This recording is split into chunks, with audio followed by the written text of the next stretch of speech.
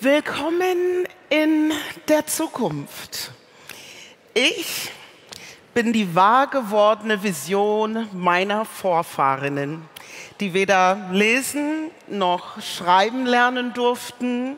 Sie durften nicht zur Schule gehen, nicht studieren, nicht promovieren und hätten schon gar nicht als Professorin an einer deutschen Universität gearbeitet. Ich bin ihre Vision und in der Zukunft. Aber ich bin nicht alleine. Berlin im Jahr 2123. Über ihr Bordcomputer-Interface erhält die junge Studentin Juliane die Nachricht, dass sie eine Reise zum Saturn gewonnen hat. Sie kann ihr Glück kaum fassen. Saturn ist nicht nur das kulturelle Zentrum der Galaxie, sondern auch der Geburtsort ihres Idols Sun Ra. Nach anfänglichem Zögern steigt sie in den Quantum Cruiser und hebt ab. Plötzlich wird sie aus der Faszination gerissen. Es kommt zu einem Systemabsturz. Das Fahrzeug gerät außer Kontrolle. Juliana stößt den Kopf und wird ohnmächtig. Als sie wieder zu sich kommt, befindet sie sich im ländlichen Deutschland des 18. Jahrhunderts. Dort scheinen die Menschen sie schon zu kennen. Es muss sich um eine Verwechslung handeln, denkt sie. Oder gibt es doch etwas, das Julianas Gegenwart mit der Vergangenheit verbindet? Juliana, ist der Titel einer afrofuturistischen Kurzgeschichte, die ich im Februar 2024 als Teil einer Anthologie von David Mayonga bei Amazon Prime veröffentlicht habe. Sie spielt in einer futuristischen Welt, in der das Brain-Computer-Interface und Weltraumreisen zur Normalität gehören. Freihandelszonen wurden bereits digitalisiert und die Absetzmärkte wurden von Roboter und künstlicher Intelligenzen reguliert. Die Erwähnung von Sun Ra als Vorbild der schwarzen Studentin ist ein direkter Verweis auf den Afrofuturismus.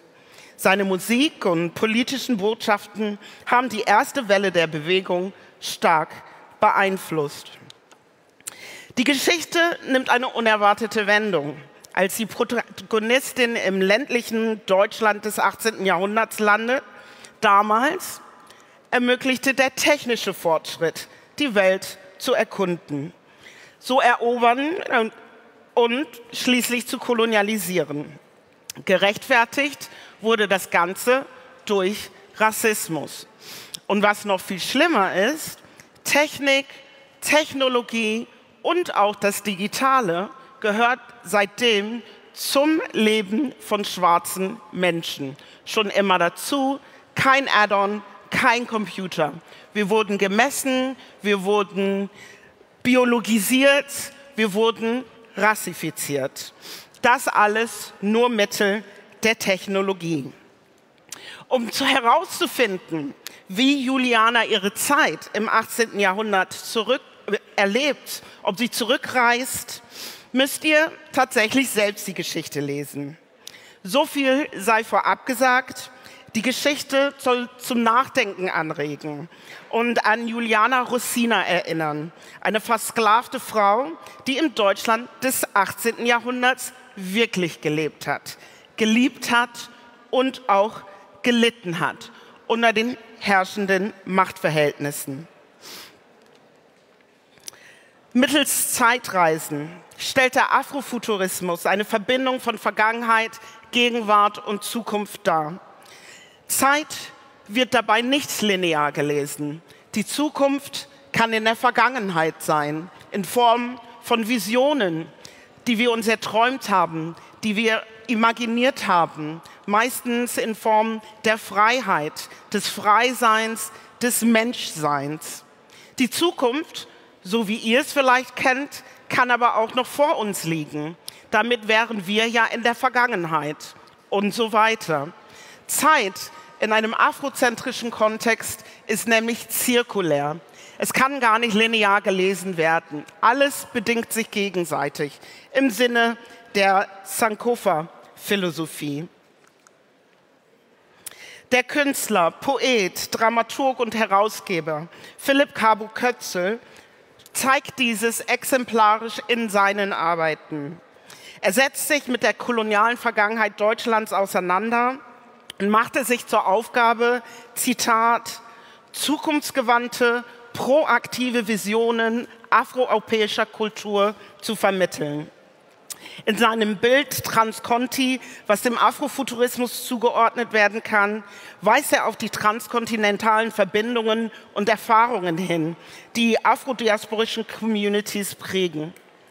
Diese Verbindungen sind oft geprägt von Kolonialismus, Migration und kulturellem Austausch. Er verweist gleichzeitig auf die Brüche und Brücken in der Erfahrung von Menschen, die zwischen verschiedenen Kontinenten und Kulturen leben. Durch eine afrofuturistische Linse betrachtet sein Werk The Afropean Contemporary als eine visionäre und transformative Erzählung über afroeuropäische Identität und Erfahrung. Auf dem Cover der Anthologie, die vielen Stimmen der afrikanischen Diaspora vereint, schafft er eine bedeutende Verbindung zur historischen Zeitschrift Ella Lombe ya Kamerun, eine bilinguale Zeitschrift, die bereits 1908 in Hamburg verlegt wurde und die Stimmen der Afrikanerinnen während der Kolonialzeit dokumentiert. Die historische Zeitschrift dient ihm als Inspirationsquelle für seine künstlerische Auseinandersetzung mit seiner afrodeutschen Identität. Er bezieht sich auf die historischen Kontinuitäten, auf das kulturelle Erbe der afrikanischen Diaspora in Deutschland und unterstreicht die Bedeutung von Erinnerung, Aufarbeitung, Reflexion und Empowerment. Schwarze deutsche Geschichte. Eine Frage mal. Wie viele Personen kennen Sie in diesem Bild? Könnten Sie jemanden namentlich benennen?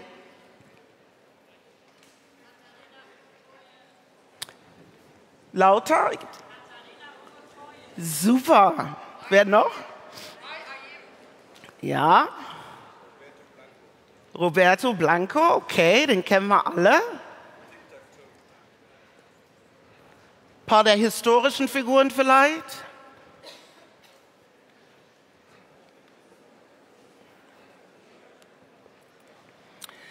Schwarze deutsche Geschichte reiht viel weiter zurück, als viele von uns tatsächlich glauben. Genau genommen kann es gar nicht datiert werden, weil wir gar nicht so weit zurückgeforscht haben bislang. Wie viele Personen Sie erkennen oder eben nicht erkennen, ist tatsächlich ein Zeugnis davon, wie viel Information in diesem Raum schon mal über schwarze deutsche Geschichte vorhanden ist oder eben auch fehlt. Nach dem Verlust der deutschen Kolonien nach dem Ersten Weltkrieg verfiel Deutschland in eine koloniale Amnesie. Schulbüchern von der Grundschule bis zur Hochschule werden die Präsenz von schwarzen Menschen historisch ausgeklammert. Die Bilder, die wir von Menschen afrikanischer Herkunft aus den Medien kennen, sind stereotype Darstellungen, kommen aus einer kolonialisierten Vorstellungswelt. Bereits während der Kolonialisierung gab es Einzelpersonen und Organisationen, die sich für Sichtbarkeit und Anerkennung der schwarzen Menschen in Deutschland eingesetzt haben. Dazu zählte beispielsweise der Afrikanische Hilfsverein, der 1918 in Hamburg gegründet wurde. Es war der erste gesamtdeutsche Verein zur Interessenvertretung schwarzer Menschen in Deutschland. Es sollte, Zitat, das Gefühl der Vereinsamung inmitten der weißen Bevölkerung nehmen. Zitat Ende. Ein Missstand, wogegen heute noch immer viele schwarze Menschen in Deutschland kämpfen. Was diese Geschichte uns aber auch zeigt, ist, dass damals auch schon Menschen Visionen von der Zukunft hatten, sich eingesetzt haben, um in Deutschland eine Zukunft zu haben, womit wir beim Afrofuturismus angekommen werden. Der Begriff wurde in den 1990er Jahren geprägt, obwohl er seit jeher Bestandteil der schwarzen Communities sind. Versklavte Menschen träumten, wie ich eingangs sagte, davon frei zu sein, lesen und schreiben zu lernen. Das schon sind erste afrofuturistische Visionen, auch obwohl der Begriff noch nicht existierte.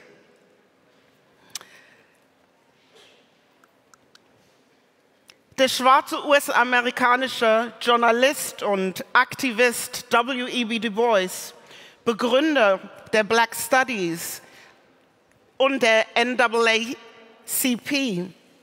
erlebte eine Zeitweile hier in Berlin, machte seine grundlegende Antirassismusforschung hier in Berlin während des deutschen Kolonialismus. Er gilt als einer der Pioniere des Afrofuturismus. Wenige Deutsche wissen das. Er wird selten in einem soziologischen Kontext gelesen. Er war Schüler von Max Weber. Max Weber kennen Sie sicherlich alle, oder? Oh, ich sehe ein Nicken, andere so, nö, noch nicht. Du Bois, den sollen Sie nachschlagen. Ich glaube, dass seine Lehren uns auch in der hiesigen Zukunft viel nutzen würden. Er zählt wirklich zu einem der ersten Antirassismusforscher der USA. In seiner Kurzgeschichte The Comet, wo ich vor einigen Jahren schon ein Symposium unter dem Titel machen durfte, am Hautheater in Berlin, da setzt er schon Motive des Afrofuturismus ein, um genau diese Frage nach einer Zukunft von schwarzen Menschen zu stellen.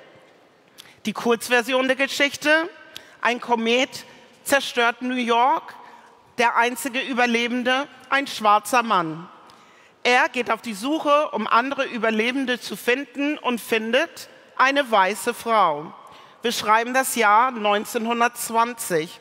Es herrscht Segregation in den USA.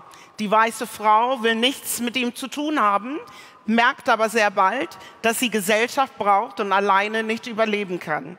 Sie ziehen beide zusammen fort und treffen auf ihren Verlobten und den Vater inmitten eines rassistischen Mobs.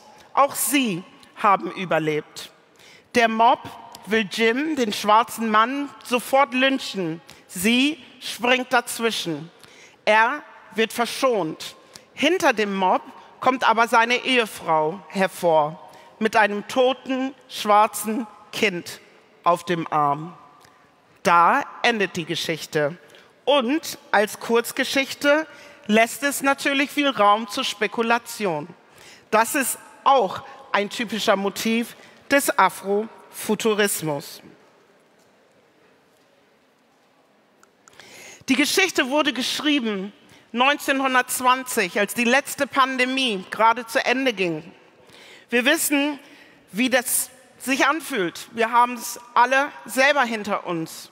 Die Menschen saßen zu Hause. Die technologischen Möglichkeiten gab es nicht, wie wir sie hatten.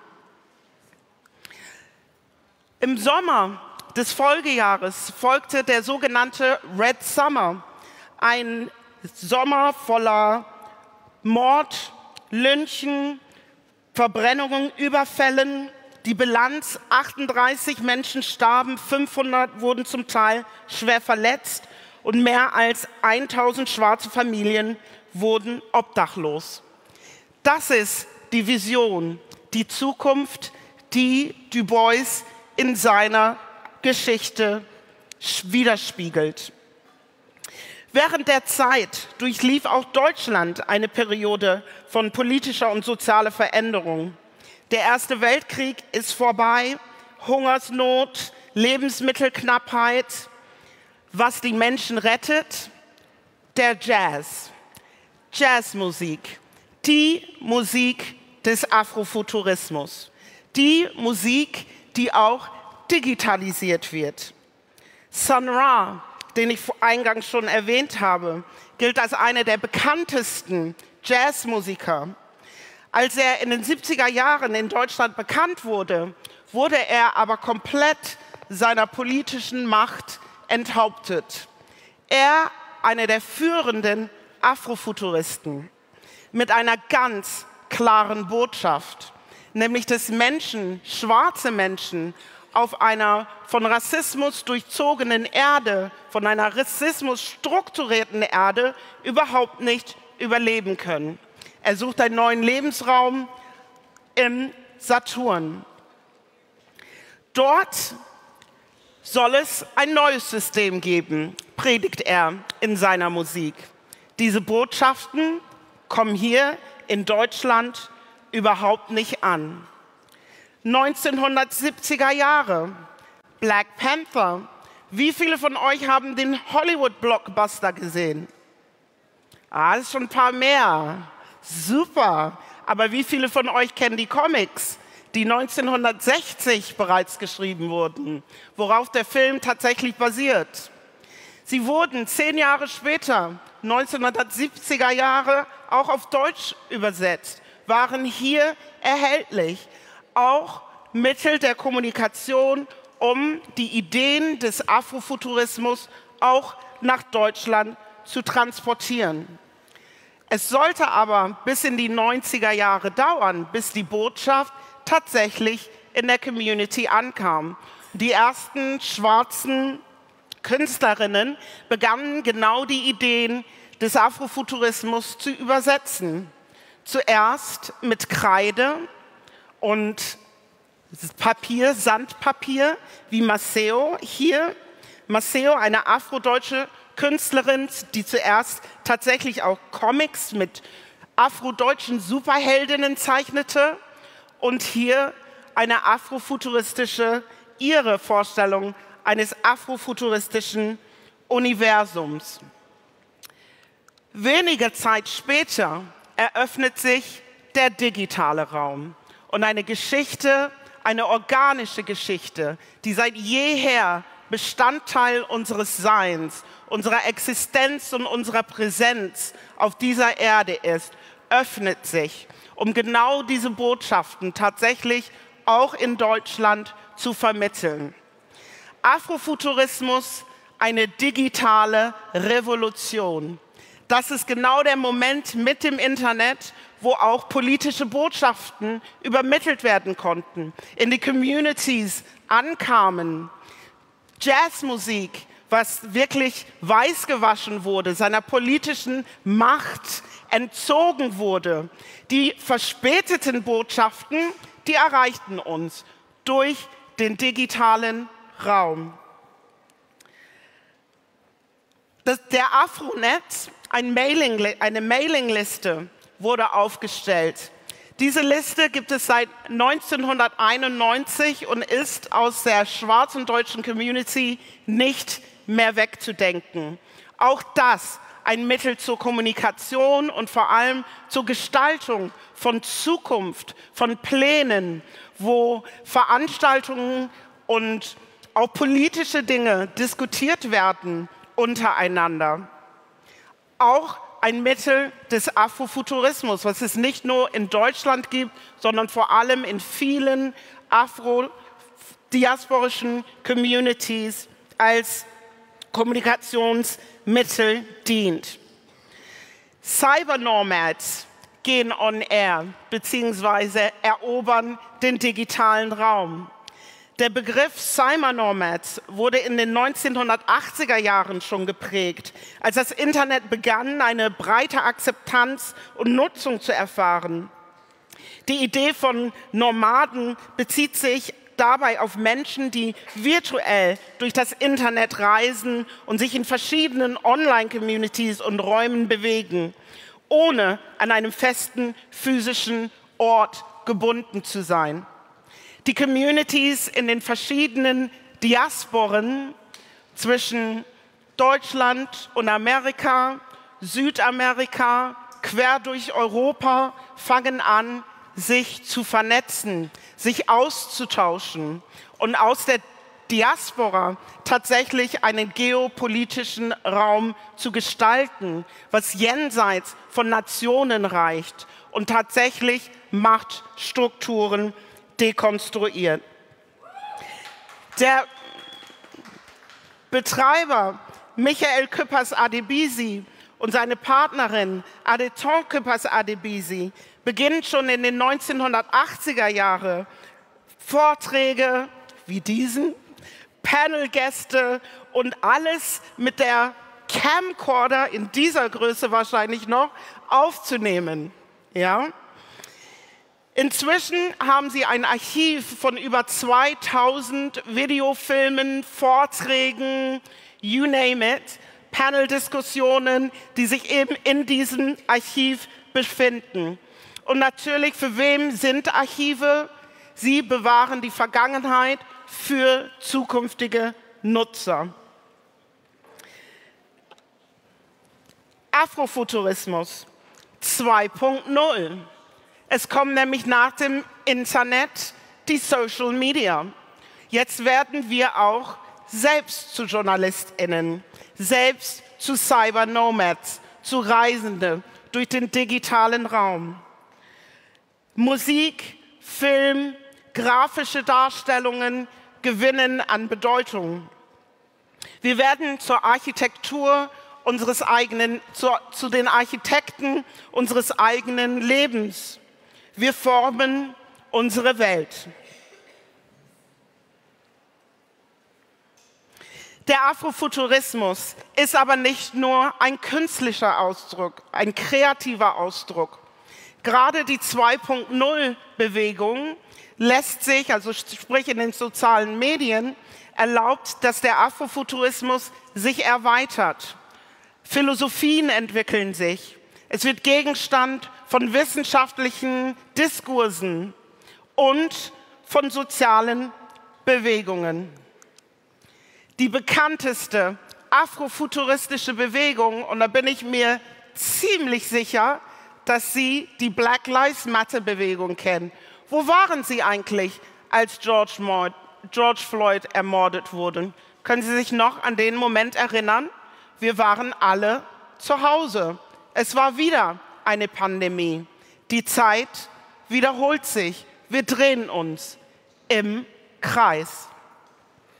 Black Lives Matter, eine Hashtag-Bewegung von der US-amerikanischen Aktivistin Alicia Garza.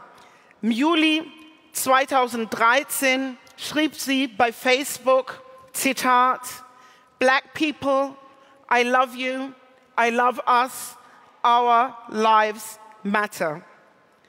Anlass dazu war die, der Freispruch von George Zimmerman, der den unbewaffneten schwarzen Teenager Trayvon Martin erschoss. Ein Jahr später erfolgten die ersten Demonstrationen auch hier in Berlin.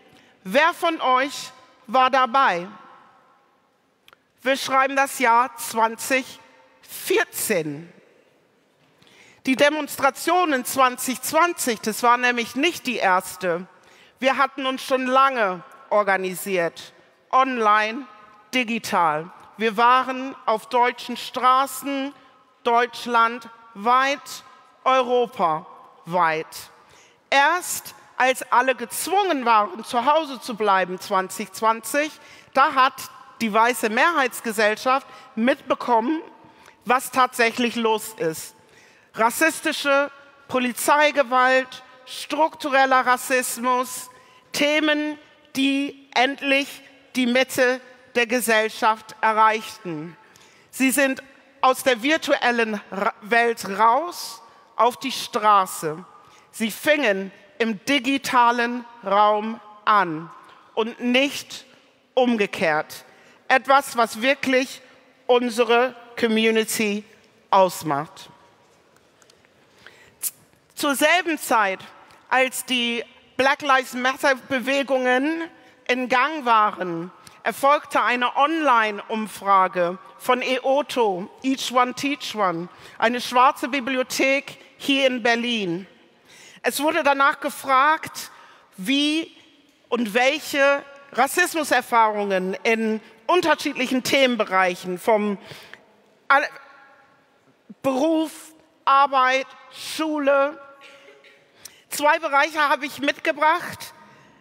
Die Ergebnisse wurden 21 bekannt gegeben. 76,1 Prozent haben angegeben, im Bereich Kunst und Kultur diskriminiert worden zu sein. 76,7 Prozent haben angegeben, im Bereich Medien und Internet diskriminiert worden zu sein. Die Liste ist lang und digital sei Dank für alle zugänglich. Auf der Basis dieser Online-Befragungen kamen wir wieder in der Realität an, in eure Realität. Die Zeit wurde synchronisiert und die Politik hat gehandelt. Es wurden Maßnahmen umgesetzt. Ich werde sie jetzt nicht kommentieren, das ist Stoff für eine andere einen anderen Vortrag und eine andere Debatte. Aber ich will ja positiv bleiben. At least something's happening. Es passiert was. Wir haben aber einen sehr, sehr, sehr langen Weg vor uns. Und den Weg vor uns zu verstehen, müssen wir erst den langen, langen, langen Weg zurück in die Zukunft machen. Ich lasse euch mit einer letzten Frage. Who cares? Who cares about the future of black people in Germany?